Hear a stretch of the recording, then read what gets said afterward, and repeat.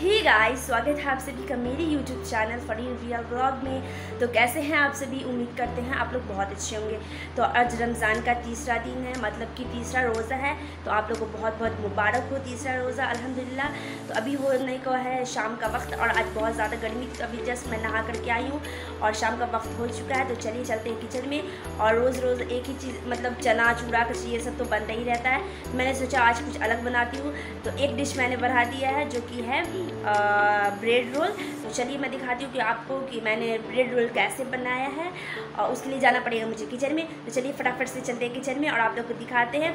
अगर वीडियो पसंद आता है तो लाइक करिएगा और मेरे चैनल पर नए हैं तो सब्सक्राइब ज़रूर कर लीजिएगा और हाँ बेलाइकन को प्रेस कर दीजिएगा ताकि मैं कोई भी वीडियो अपलोड कर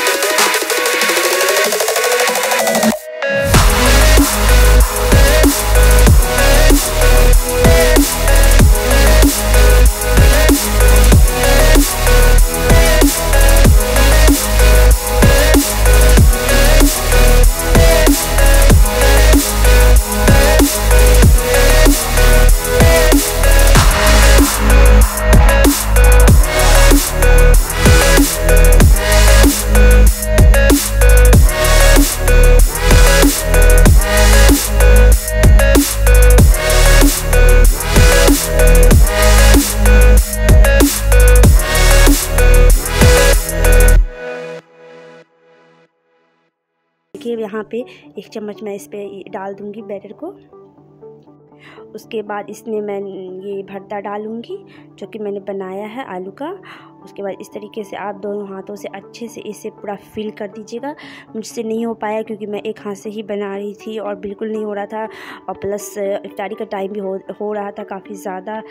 और मैं कोशिश भी कर रही थी, फिर भी मैंने किया है। तो आप अपने हिसाब से, अपने तरीके से मतलब अच्छे से कर लीजिएगा। मैं फटाफट से जारी बना करके फिर दस्तरखान मतलब लग चुका है और मुझे काफ़ी देर भी हो गया है। देखिए, इसमें हम इसे डुबो देंगे। उसके बाद यहाँ पे जो मैंने बनाया था ब्रेड क्रैम उसमें हम इसके ऐड करेंगे और अच्छे से ऊपर से लगा दीजिएगा। थोड़ा ये लगाने से क्या होता है कि कुरकुरा टाइप का हो जाता है। तो मैं यहाँ पे बना बना करके रख लेती हूँ फिर मैं थोड़ी देर में इसे फ्राई करूँगी। एक साथ तो नहीं हो पाएगा मतलब एक एक करके मैं यहाँ पे तीन चार बना लेती हूँ, उसके बाद मैं इसे फ्राई करूँगी।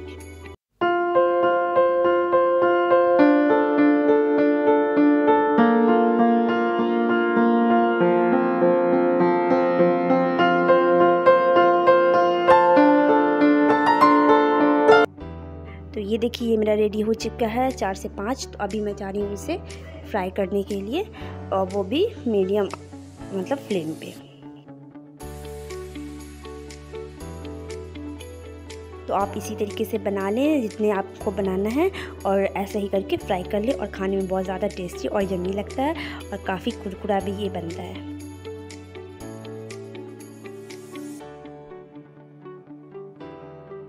और ये देखिए फिर मैंने रेडी कर लिया और ये देखिए इसके अंदर का कितना अच्छा और काफ़ी टेस्टी आप इसे किसी मतलब धनिया पत्ती की चटनी के साथ या टोमेटो सॉस के साथ भी खा सकते हैं कैचअप के साथ चिली कैचअप के साथ। तो चलिए अभी देखिए कितना अच्छा लग रहा है देखने में, भी ब्राउन कलर का है और काफ़ी कुरकुरा है तो आप भी घर पर ज़रूर ट्राई करिएगा। तो अभी मैं जा रही यहाँ पे दस्तरखान लग चुका था थोड़ा सा टाइम भी हो गया था, मैं जल्दी जल्दी दी फिर मैंने भी रोज़ा खोला है। तो चलिए आप लोग भी इंजॉय करें गाइस तो अल्हम्दुलिल्लाह, हम लोग का तीसरा रोज़ा भी कंप्लीट हो चुका है। और मैंने जो आज डिश बनाया था तो आप लोग भी घर पे ज़रूर ट्राई करना।